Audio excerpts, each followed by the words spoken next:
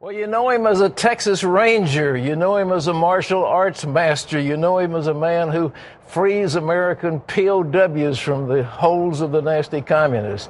But these days, Chuck Norris is playing another role political activist. Chuck Norris hit the 2008 presidential campaign trail earlier this year, where he threw his support behind GOP presidential hopeful Mike Huckabee. My plan to secure the border two words Chuck Norris crisscrossing the country in what came to be known as the Huck and Chuck Tour. After Huckabee bowed out of the race, Norris continued to speak out about the most pressing issues facing America. In his book, Black Belt Patriotism How to Reawaken America, Norris argues that America needs to return to its Christian roots, secure its borders, and regain its fiscal sanity. Well, Chuck Norris and his lovely wife Gina join us now by satellite from Texas. Man, it's good to have you folks with us.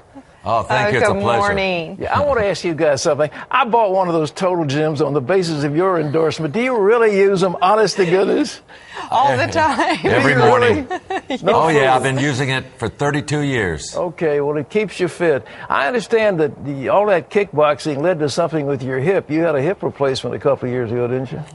Yeah, I did. Uh, you know, from all those uh, f- 40, almost 50 years of kicking, you know, I uh, it uh, it uh, and all plus all my stunts. You know, I had a lot of hip uh, injuries doing my stunts and over the years. So it was a combination of the stunts I've been doing for years, plus all the kicking I've done for all these years. And so anyway, I had to put a new hip in. Well, you're doing fine with it, though, aren't you? Oh yeah, it's. Yeah. I mean, it's as good as the you know, or better than the old one. What do you guys see about America? I know you've written a book called Black Belt Patriotism. What, mm-hmm. what do you see is going on with the direction of this country? Well, I just think we're heading down the wrong direction. You know, you know, uh, we need to restore patriotism as the founders meant it to be. You know, I think we need to restore our sense of civility, uh, morality and responsibility. And uh, I think uh, we've drifted from that, and uh, we just need to get back on the right track as our founding fathers. You know, I do a lot of reading about our founding fathers and on history, and, and you know, they had a vision for our, America mm-hmm. that uh, was not corrupted by greed and power. Mm-hmm. And I think, unfortunately, many of our politicians have fallen into that trap of uh, you know of excessive greed and excessive power, and we need to turn that around. We, the people, have got to get back, get control back of our country. How's that going to be done? What do you think we need to do? Well, f- uh, first thing I think we need to do is uh, Mike Huckabee says, I think that we need to get a fair tax, mm-hmm. a consumption tax going in our country where the people get 100% of their money. And uh, the thing is, you know, there's $13 trillion in offshore accounts where the super rich are hiding their money. If we could bring that $13 trillion back into our economy, it would give our country a huge boost.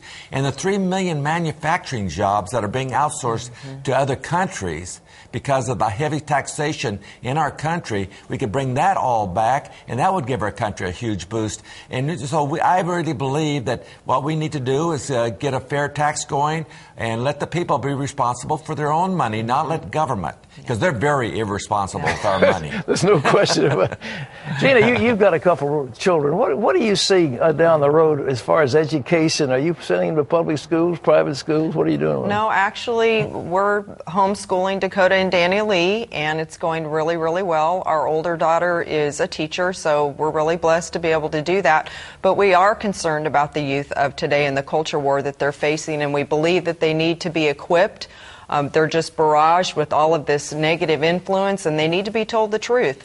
And this book that my husband's written, we hope will encourage them and equip them with the truth and the courage that they're going to need to stand up and fight this culture war. It's serious today and it's not getting any better. The, the funny thing is, and I think that you probably know this, uh, there's these Chuck Norris facts out, so it's, it's really reconnected my husband with the youth today. It's all part of God's plan and it's really exciting just to see him be able to uh, have a platform to speak into their life. Well, well have I have kind of a joke. I have kind of a joke there. You know, one of the Chuck Norris facts is that America's not a democracy; it's a Chuck Tatership. and I said, I said, now if that was true. If that was true, I would go to Washington and I'd line up every member of Washington And then I'd have Ron Paul, who I believe is one of the more honest politicians back there. I'd say, Ron, point out the honest politicians and the dishonest ones. And he, we'd go down the line. He'd say, he's an honest, he's honest, he's corrupted.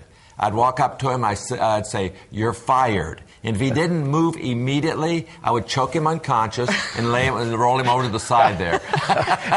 the You millennials why- love this. I, I thought you were going to have a firing squad or something. Listen, uh, Huckabee was talking about the borders. You're really concerned about illegal immigration. Tell us about it. Well, I believe that there is a solution to illegal immigration. I believe the first thing we do need to do, of course, is secure our borders. We, we can spend $85 billion trying to bail out AIG, but we can't spend 2 billion to secure our borders. It, it's ludicrous. It's crazy. And then if, once we secure, secure our borders, then what we can do is find the people who are uh, reputable, you know, because there's 12 million, over 12 million illegal immigrants here, not counting their children.